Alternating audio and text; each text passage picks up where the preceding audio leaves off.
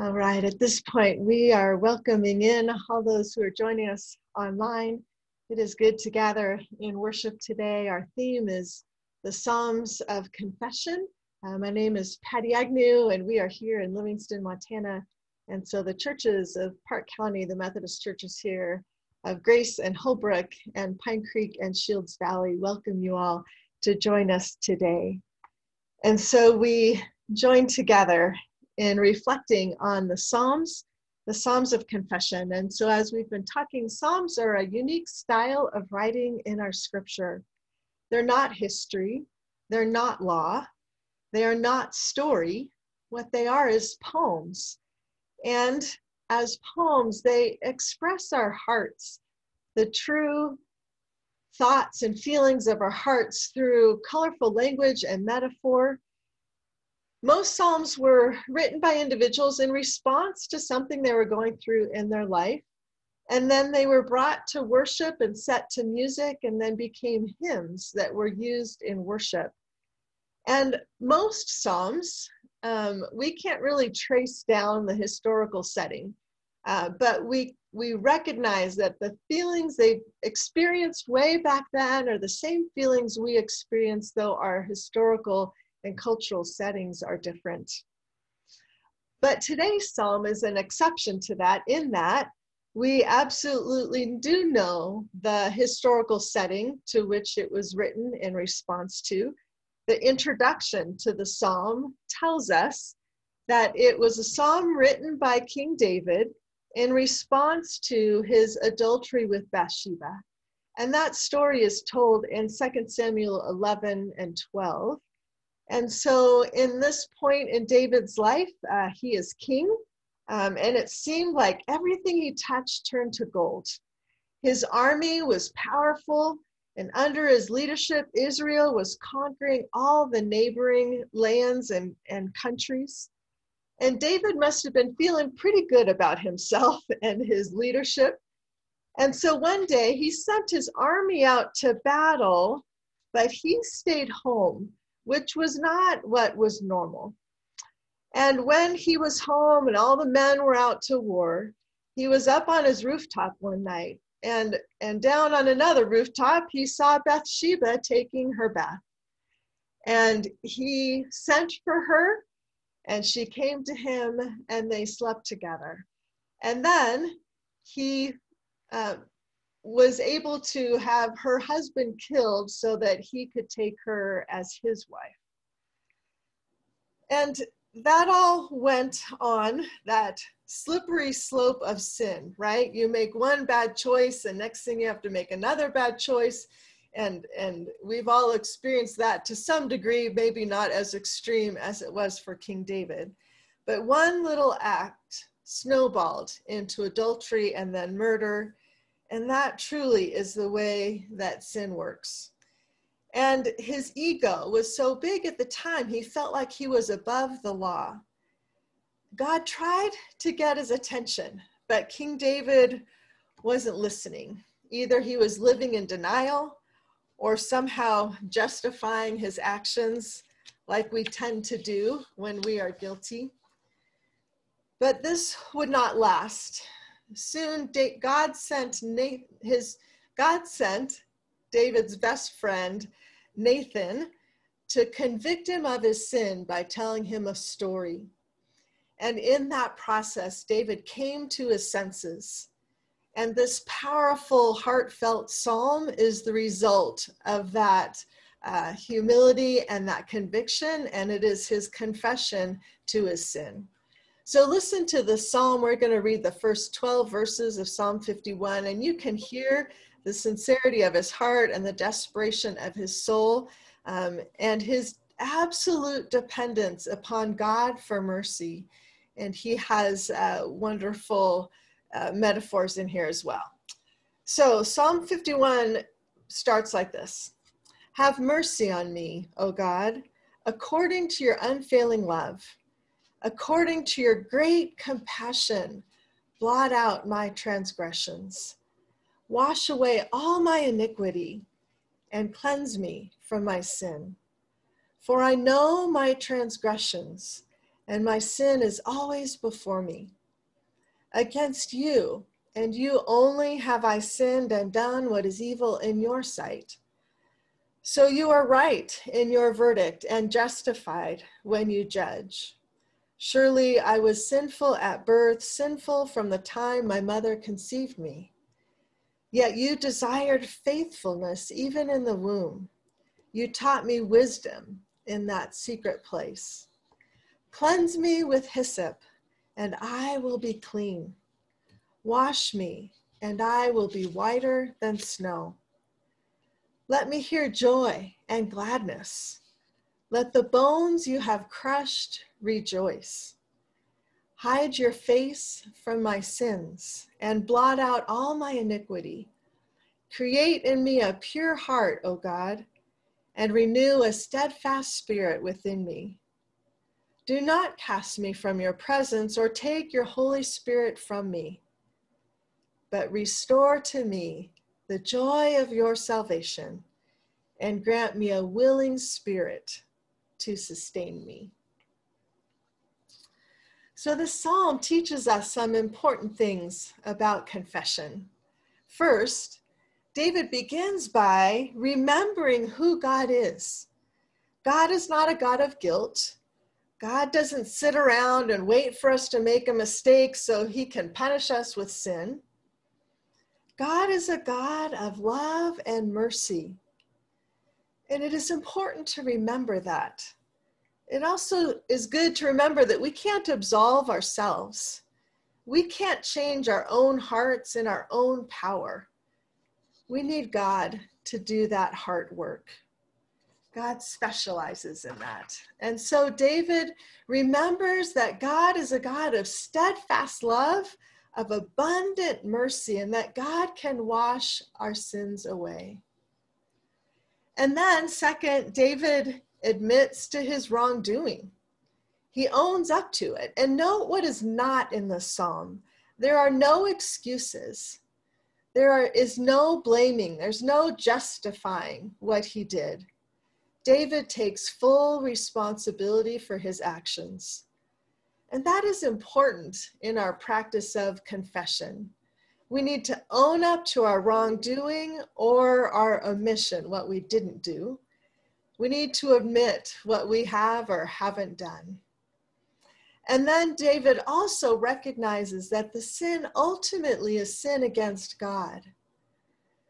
This part is not declaring that the, the pain and the suffering on the human level doesn't count because that needs to be dealt with too. But it is recognizing that not only does sin impact the humans in our life, but sin is also against God. And then we confess our sin and ask for forgiveness. I looked up definitions of guilt this week in preparation, and so guilt is described as the distress we feel when we hold up something we did against our values. And the definitions all refer to guilt as an uncomfortable, painful feeling it's an emotion that causes distress in our, in our hearts and our souls. Now, there's a reason we feel guilt. God gave us a conscience, God gave us the ability to feel guilt. And it is important for our own self and for our relationships that we feel the guilt so that we can deal with the harm and the wrong that was done. And so let us take a lesson from David when we feel that guilt, may we admit it. May we own up to our wrongdoing and seek mercy.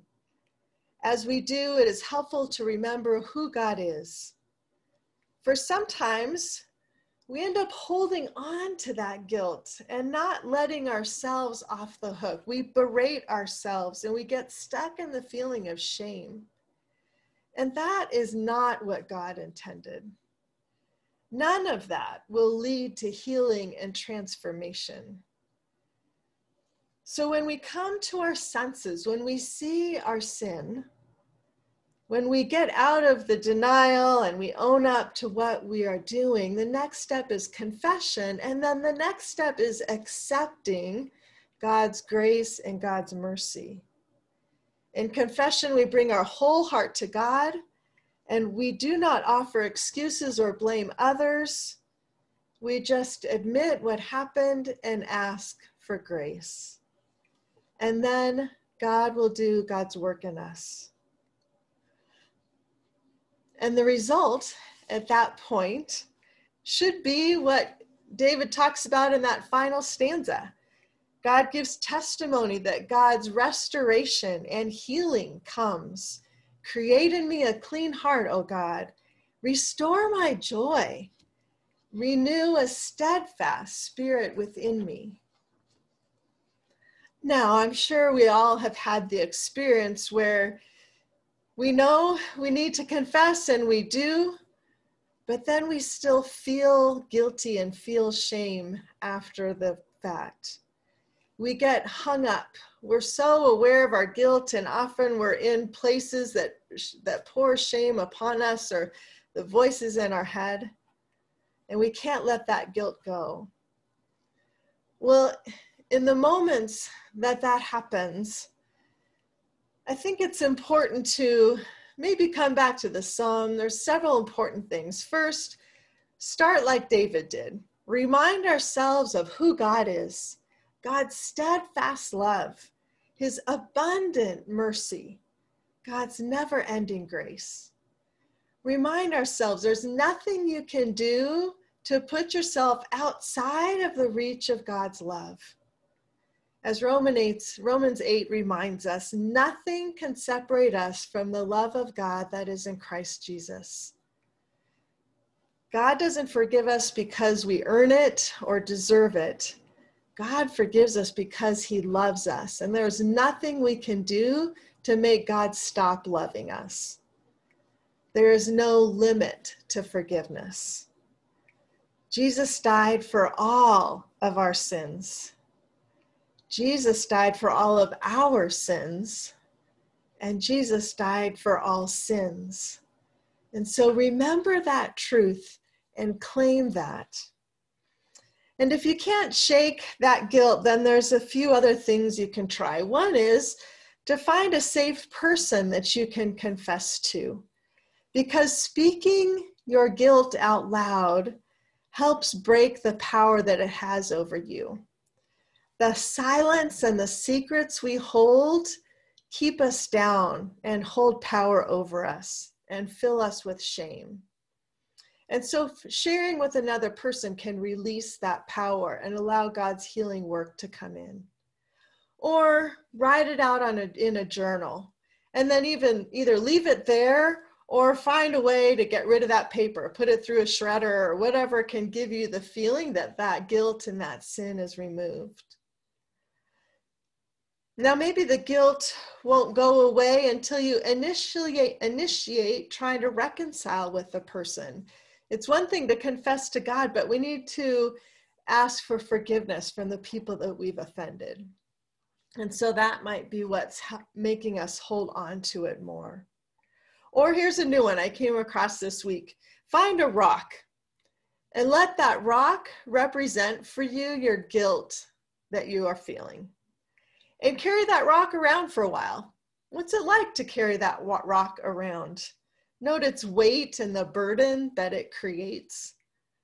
And then remember that God doesn't want you living with burdens and weights, carrying rocks around.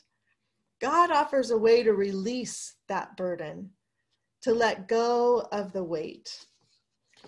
And then put that rock down Maybe you throw it into your garden so new life can come up around it.